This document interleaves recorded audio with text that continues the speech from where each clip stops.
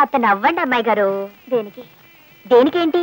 ఈ పూట నూరేళ్ళ పండగ జరగబోతోంది.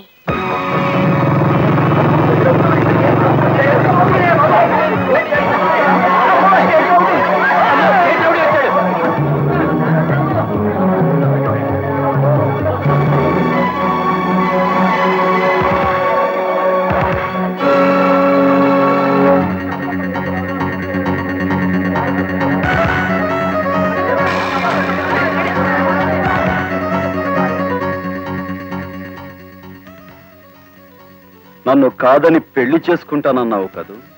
ఏడీ మంత్రోచ్చారణ చేసే పురోహితుడు? ఏడి అక్షంతలు చల్లి నిన్ను ఆశీర్వదించే ఆ పెళ్ళి పెద్దలు? ఏడీ నీ మెడలో తాడు కట్టి నేను సొంతం చేసుకునే ఆ మగాడు?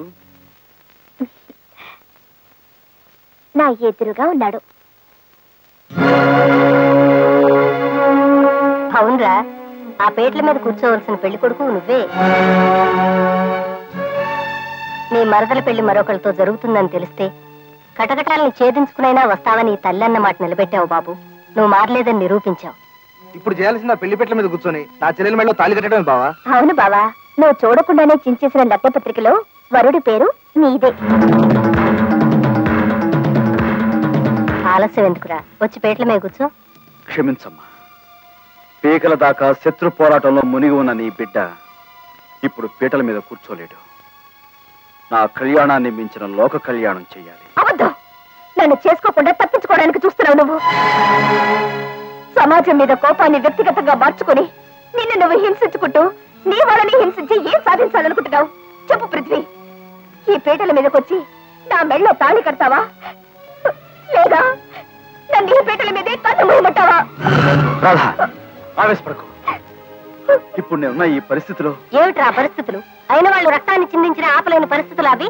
నువ్వు ప్రేమించిన అమ్మాయి కన్ను మూస్తున్నా చెప్పలేని పరిస్థితులు అవి?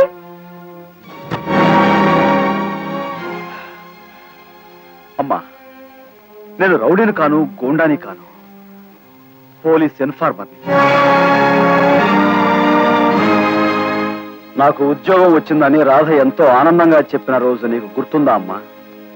ఆ రోజు పోస్టింగ్ ఆర్డర్స్ తీసుకోకుండానే పోలీస్ యూనిఫామ్లో ఐజీ ఆఫీస్కి వెళ్ళాను.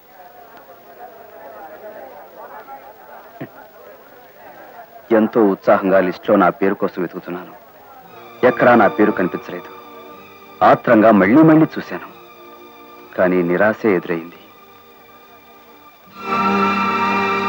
దూరంగా ఉన్న రాధను చూశాను.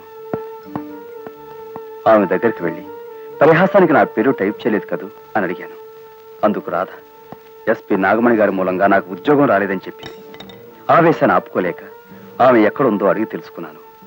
ఎంతో గౌరవ మర్యాదలతో బతుకుతున్న మీకు ఇది న్యాయమేనా? ఇలా ఎందుకు చేశారు? నేను ఏ విధంగా అనర్హుణ్ణి? అని నాగమణి గారిని ప్రశ్నించడానికి ఆవిడ దగ్గరికి బయలుదేరాను. చెప్పండి ఎవరి దగ్గర లంచం తీసుకుని పనిచేశారు పని చేశారు? ఎవరి రికమెండేషన్ లొంగిపోయి పనిచేశారు పని చేశారు? మిస్టర్ పృథ్వీరాజ్ ఇది డిపార్ట్మెంటల్ మ్యాటర్.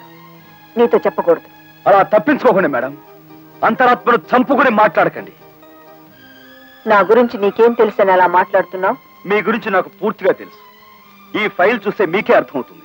నైన్టీన్ సిక్స్టీ ఎయిట్లో మీరు ఎస్ఐగా రిక్రూట్ అయ్యారు. నైన్టీన్ సెవెంటీ ఫైవ్లో సిఐగా ప్రమోట్ అయిన మీరు రెండేళ్ళకే డిఎస్పీగా మరో మెట్టు పైకి వెళ్ళారు నైన్టీన్ ఎయిటీలో అడిషనల్ ఎస్పీ గాను ఎయిటీ త్రీలో ఎస్పీ గాను మీరు బాధ్యతలు స్వీకరించారు. ఇది జనరల్ నాలెడ్జ్ కాదు మేడం. అంచెలంచెలుగా శిఖరాగ్రానికి చేరిన మీలో నేను ఒక ఆడ పోలీస్ ఆఫీసర్ను చూడలేదు. ద్వాపరయుగం నాటి ద్రోణాచార్యుడు చూశాను. ఏకలవ్యుడుగా ఆరాధించాను. ఏనాటికైనా నేను మీలాంటి ఒక పోలీస్ ఆఫీసర్ కావాలని కలలు కన్నాను. ఈ జనారణ్యంలో నిరుద్యోగిగా తిరగాల్సి వస్తుందని బాధపడటం లేదు. నేను అభిమానించే వ్యక్తి ఒక అవకాశవాదిని తెలిసి సిగ్గుతో వెళ్ళిపోతున్నాను. తీసుకోండి. మీ జీవిత చరిత్రలో చాడి చెప్పే ఈ కాగితాలతో నా ఇక పని లేదు. ఆదర్శం కోసం తొందరపడి తెచ్చుకున్న ఈ కాకి యూనిఫామ్ నన్ను ఎగతాళి చేయక ముందే మీ డిపార్ట్మెంట్ కానుగ్గా ఇస్తున్నాను. గుడ్ బై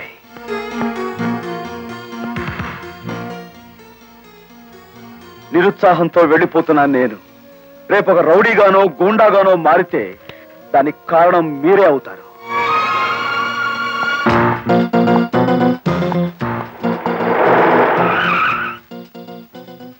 ప్రశ్నలకు సమాధానం కావాలంటే కారెక్కు.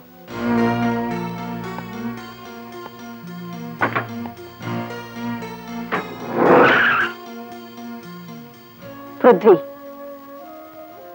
నీ నిజాయితీ చూశాను. నీలోని ఆవేశాన్ని చూశాను. నా పగ నెరవేర్చి పెట్టడానికి నువ్వే సరైన వాడవని నిర్ణయించుకున్నాను. పగా? ఎస్ వైస్ ఛాన్సలర్ ముకుందరావు గారిని దారుణంగా హత్య చేసిన సంగతి నీకు తెలిసే ఉంటుంది. ఆ ముకుందరావు గారు నా భర్త. ఆ కేసును పరిష్కరించడానికి నేను శత విధాలా ప్రయత్నిస్తుంటే డబ్బు పరపతి అడుగడుగున అడ్డుపడి సాక్ష్యాలను తారుమారు చేస్తున్నాయి. నాలో ద్రోణాచార్యుణ్ణి చూసి నువ్వు తప్పు చేయలేదు పృథ్వీ. తన గౌరవాన్ని నిలబెట్టగలిగేది ఏకలవ్యుడు కాదు. అర్జునుడని భావించినట్లే నా ఆశయాన్ని నెరవేర్చగల శక్తివంతుడివి నువ్వేనని గ్రహించాను నిజానికి ఇంటర్వ్యూలో నువ్వు ఎస్ఐగా సెలెక్ట్ అయ్యావు. కానీ ఈ కేసులో నిన్ను పోలీస్ ఇన్ఫార్మర్గా వినియోగించి దోషులు పట్టించాలనే ఆశయంతో నేనే ఆ పేరు గుర్తించి వేశాను. మేడం నేరస్తులు నేను ఉరుకమ్మ వరకు నడిపించడమే మీ ఆశయం అయితే అది నేను నెరవేరుస్తాను. మీ పశువు కుంకాలు నేలరాల్చిన ఆ దుర్మార్గుణ్ణి చట్టానికి పట్టించడమే నా కర్తవ్యమని మీరు భావిస్తే తగిన మీ పశువు తాడుకు మారుగా వాడి మెడకు ఉరితాడు నేను తగిలిస్తాను. చాలా సంతోషం పృథ్వీ. కానీ ఆ నరేంద్ర భూపతిని ఎదుర్కొని పోలీసులు చాలా సార్లు ఓడిపోయారు. రవి కాననిచో కవిగాంచునే అన్నారు పెద్దలు. పోలీసులు వెళ్ళలేని చోటికి రౌడీ వెళ్ళగలడు అంటాను నేను.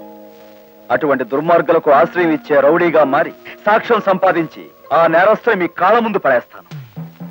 అలా ఉద్యోగంలో చేరాను. ఆ ఉద్యోగంలో భాగంగానే వాళ్ళతో చెయ్యి కలిపి ఎమ్మెల్యేలను కిడ్నాప్ చేసి ప్రభుత్వాన్ని కూలదోయటానికి ప్రయత్నించిన వాళ్ళ ఆటలు కట్టించాను. సారీ బావా.